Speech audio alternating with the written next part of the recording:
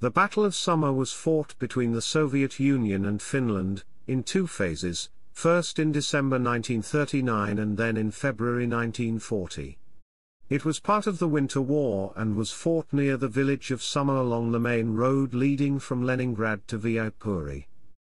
Chapter 1 First Battle in December The village of Summa was a gateway to the city of Viipuri. The Finns had built 41 reinforced concrete bunkers in the Summa area, and the defense line was stronger than elsewhere in the Karelian Isthmus. However, the Finns had made mistakes in planning and nearby Munasuo swamp, east of Summa, had a kilometer-wide gap in the line.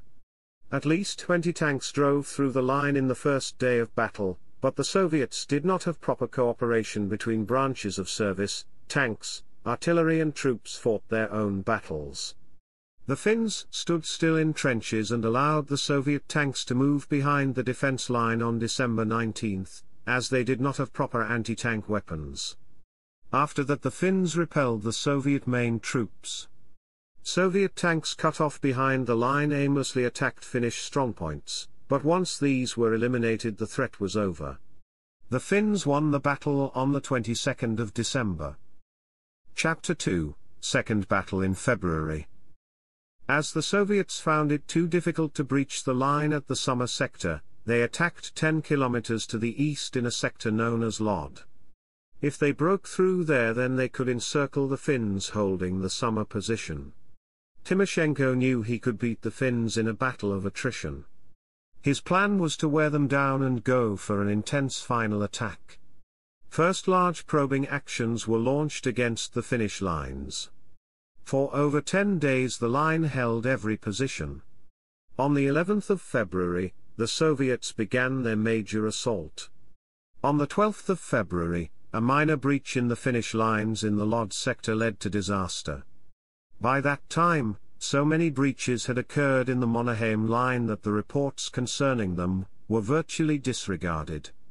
The following morning, a Finnish counterattack was supposed to be launched by the entire 5th Division, the only reserve in easy reach of the front line, but only one of the three regiments was available as the other two regiments had to be dispatched elsewhere. Only two Finnish battalions launched a counterattack against two well-supplied Soviet regiments that were equipped with armor and artillery. The attack was thrown back with heavy Finnish casualties. The Soviets made efforts to exploit this prominently.